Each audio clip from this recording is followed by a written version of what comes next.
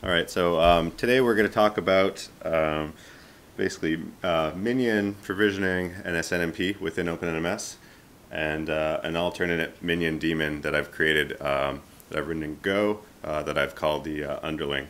So uh, from what you see in my uh, in front of my laptop here, I got these two little devices connected to a switch. Um, so those are a couple Orange Pi 1s, um, very similar to the Raspberry Pi Zero um, although you can actually buy these and they're not out of stock. Um, so that said, um, here's the kind of network diagram that we'll be working with today. So we got those two guys connected to an unmanaged switch. Uh, my laptop is acting as the uh, upstream gateway here. Um, of course, we're behind a firewall, and we'll be talking to an OpenNMS instance that's sitting on, on AWS.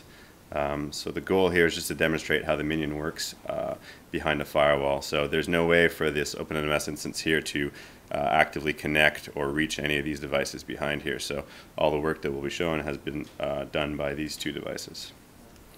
Um, so a bit about the hardware, you know, the Orange Pi 1s, uh, you got a 1.2 gigahertz ARM Cortex processor, only 512 megs of RAM, um, goes for about 10 bucks without the case, and it's running Armbian um, based on Debian, Debian Jessie. Um, so Uh, starting from OpenNMS in the cloud, um, the only thing that we need to do there special to allow this thing to talk to OpenNMS is enable the STOMP connector. So OpenNMS ships with um, an ActiveMQ daemon embedded. So if you go ahead and edit the ActiveMQ config um, and you enable the STOMP protocol here, that will allow these devices to reach out to it. So currently this is uh, you know just wide open, unencrypted.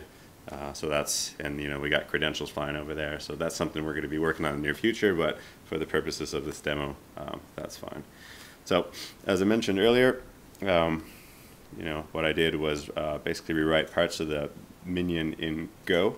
Uh, so the reasoning behind that was so we can create a, um, a single binary um, executable that can be, you know, that can go onto these smaller devices and doesn't require all the baggage that Java normally brings along, right? Um, so here's a link to that project. And what we're going to do is um, we're just going to go ahead and build that from source on one of these devices here. So one of them is already fully set up. So we're going to go, uh, it's already set up on OB1. So we're going to go set it up on OB2 and just, you know, kind of run through the instructions. Um, so let's see here, put that up. Maybe. Come on, hotkeys not working. Damn it. All right. That'll work. All right, so here we go. We've got a console on this ARM box. Um, what we're going to do is just set up our Go path after we have Go set up. So I just um, only set that up as if I can type, home Jessie Go. Um, once there, you can go get github.com tools go dep. That's what I use to manage the dependencies in this particular project.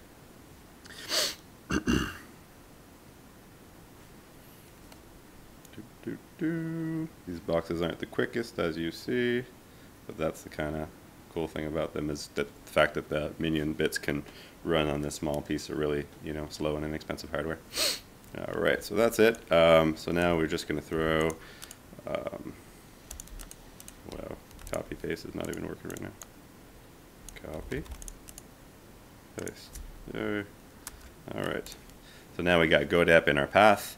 Uh, so we're going to go ahead and grab the code um, to the actual underling project, JWhite underling.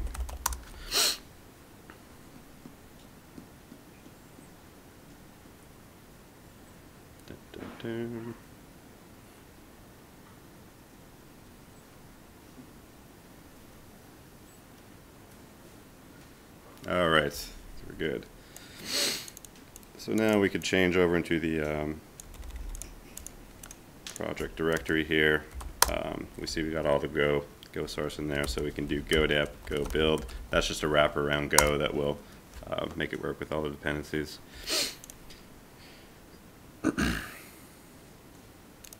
All right, so we should have a binary in here now, underling. Uh, we see it's 3.9 megabytes, right? And that's uh, all completely self-contained. There's no other dependencies at all, uh, except for like libc, right?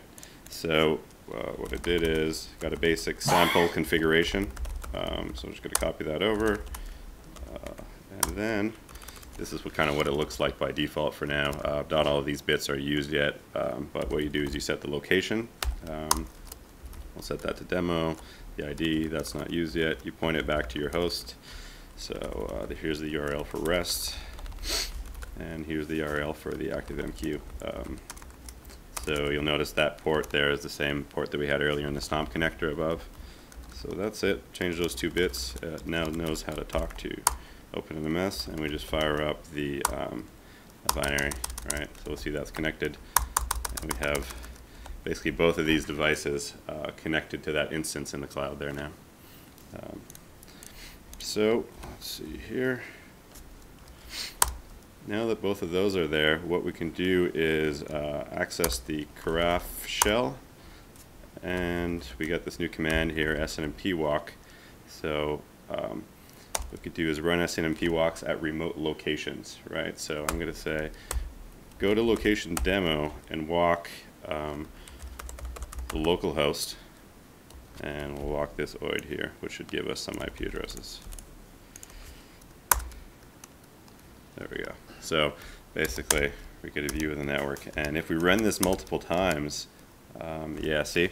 So kind of what I wanted to illustrate here is uh, these hosts are local hosts as relative, right? So those two minions that are at the demo location are actually acting in a competing consumer model, right? So uh, we basically push tasks off, and whoever gets the task first is the one that's going to execute it. So we see that um, you know, the first and second time we ran it, uh, we saw 192.168.1.101, so that means that OB2 device got it. That's the one we just compiled the binary for.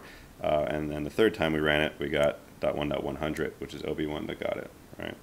Um, so to, if you don't want it to flap like that, you could basically just, um, you know, make sure you always use full uh, IP addresses instead of local host whenever you're scanning there. So again, we're going to walk a much larger tree here now and we get all the data back as expected. So this is just a diagnostic tool, but you know, kind of gives you an idea of what's what's possible. Um, so yeah, using um, that SNMP client library, um, we've gone ahead and updated some of our services within uh, OpenNMS. Um, so one of them in particular is uh, provisioning.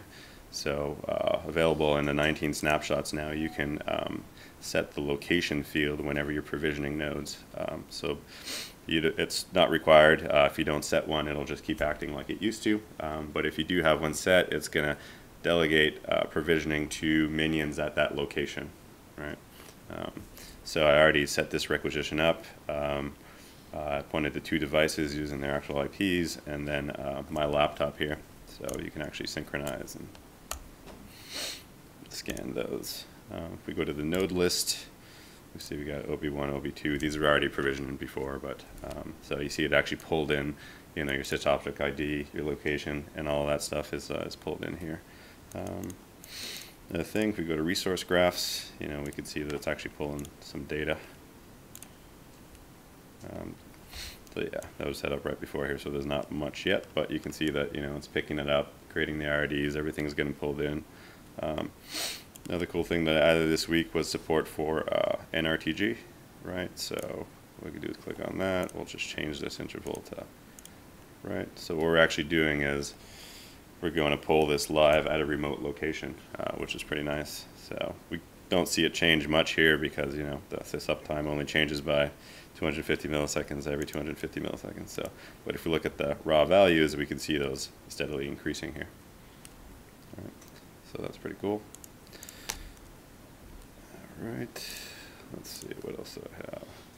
So that's the basic provisioning, SNMP data collection, uh, and anything else that uses SNMP can easily be modified to use this location-aware SNMP client, and everything will just um, work similar to what to how it used to. Re requests will be delegated to remote locations.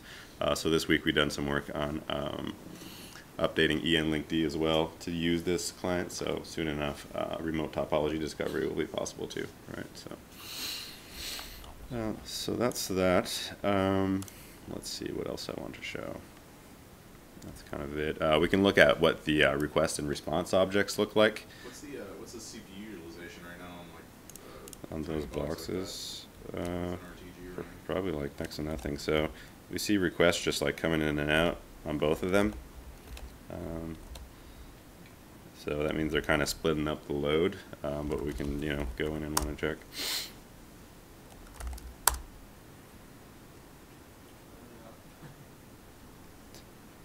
So yeah. So It's actually taking more CPU. SNMPD is, yeah. so let's check on the other box then. Um, that was OB1. If we look at OB2, yeah, I think the uh, 10% on the small arm box, so not much. Yeah.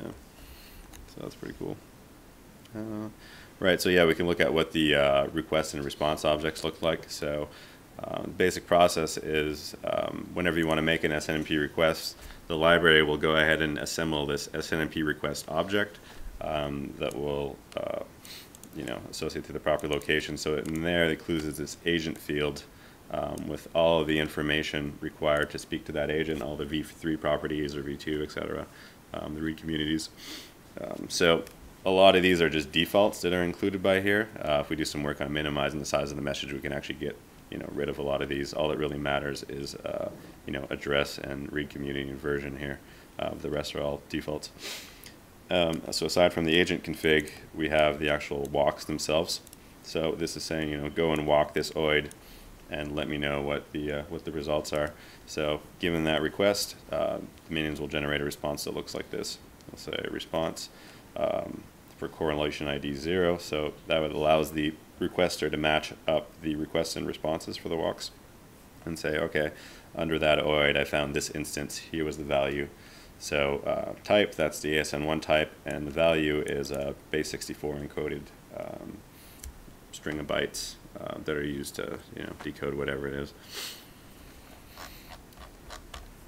All right, so that is the underling uh, SNMP proxy provisioning, data collection, you know, and we're all able to do this using the um, um, using the SNMP proxy. So of course this was an implementation that done in Go that's very simple. Uh, this is all supported as well with the Java implementation too. Cool, that's it. Any questions? No? All right, we're good. Thanks everyone.